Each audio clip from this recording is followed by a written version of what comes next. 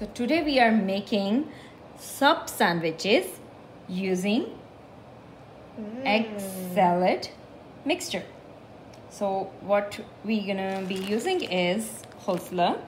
You can get it ready to use or you can chop your own red cabbage, green cabbage and some carrots.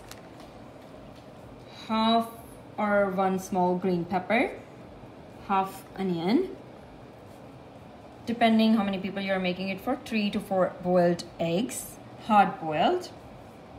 And for sauce, we'll be using mayonnaise and any mustard sauce. You can use Dijon mustard, you can use uh, honey mustard, any sauce. And the mayo also you can use the regular mayo or this is coconut mayo something. Mm -hmm. And sun-dried tomatoes and main ingredient jalapeno peppers. Mm. and that's why it's going to be spicy. Mm-hmm. so in the next video you will see what we're going to do is mix i mean saute the vegetables a little bit slightly saute them. Boil the eggs and mash them with the hand or just use the masher. And we're going to be mixing these two sauces together and putting sun-dried tomatoes also in the veggies and so does the jalapeno peppers mix them all together, saute them. And for the sub bread, just slice it and toast slightly, but we're gonna be taking out some bread and I'll show you in later video.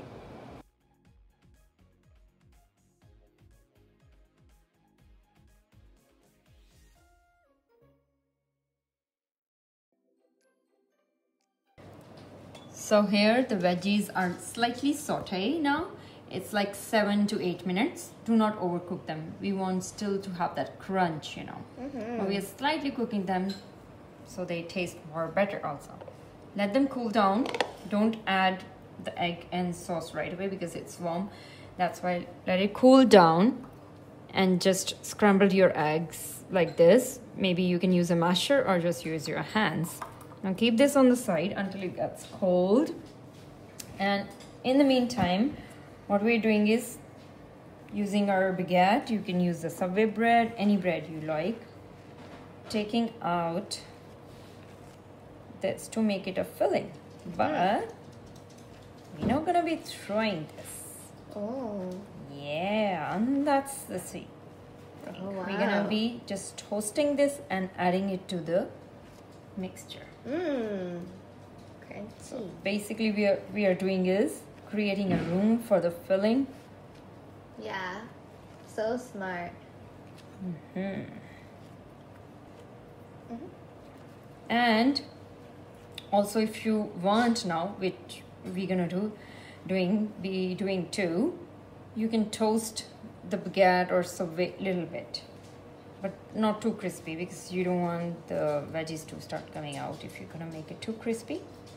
So this is out okay so with this bread now just add some olive oil coconut oil any oil and just toast them like a little bit. Make them crispy basically. You can add it to the same mixture or you can uh, use this later on for dip it in any oil or bread dipping so no wastage mm -hmm. and we are also toasting our baguette too to make this up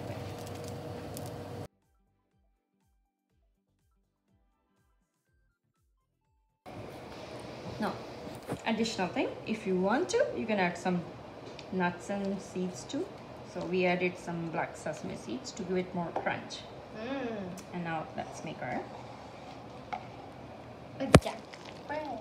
and I'll pick it up like this and just fill the boat. Mm.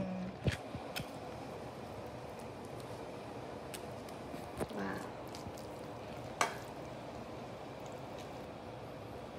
And just garnish it with any fresh herbs you want to, like cilantro. Mm. And now, time to enjoy. Wow, thank you so much, Mama. You're welcome, sweetie. Can't wait.